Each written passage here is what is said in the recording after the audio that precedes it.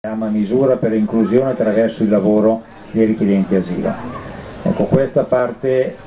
da un discorso proprio dell'accettare queste persone ma facendogli fare un percorso e guarda caso è un po' quel documento che a Como è stato sottoscritto qualche tempo fa, qualche anno fa, che passa per il titolo della buona accoglienza. Cioè bisogna eh, mettersi nell'ottica che queste persone che vengono da noi, bisogna dargli anche gli strumenti per poter far sì che questi possano partecipare alla nostra vita, per cui concorsi di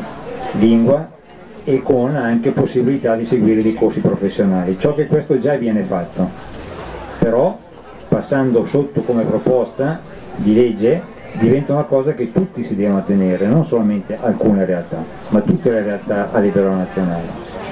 come vi dicevo prima, sono dei piccoli passi, però concreti, e dobbiamo puntare soprattutto sulla concretezza, sia per le persone che conosciamo, alcuni di noi conoscono perché già fanno un certo servizio con loro, ma sia persone anche che sono qui, come dicevo prima, da anni,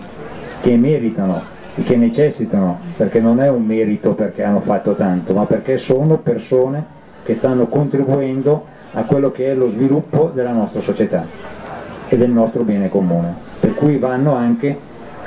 apprezzate e soprattutto considerate come tali e non come dei numeri. Sicuramente questo è un aspetto che va per quanto riguarda l'amministrazione della città di Como che non va in sintonia, lo sappiamo, l'abbiamo letto anche recentemente, però quello che non è che se non va in sintonia con un comune dobbiamo per forza fare dei passi indietro, ma bisogna costantemente andare avanti perché la realtà ce lo chiede ed è quello che il vissuto quotidiano che ognuno di noi vive è questo. E chiedo un po' tutti eh, la cortesia di stare attenti ai falsi allarmismi, perché sono questi quelli che danneggiano poi il nostro stare in comune e la nostra società in questo momento, perché con gli allarmismi sicuramente non andiamo avanti, ma ci chiudiamo sempre più e non abbiamo bisogno di questo.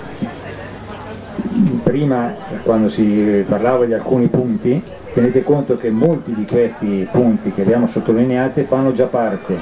o sono già da anni che sono presenti nelle leggi della Spagna e della Germania, visto che spesso noi andiamo sui confronti di altri stati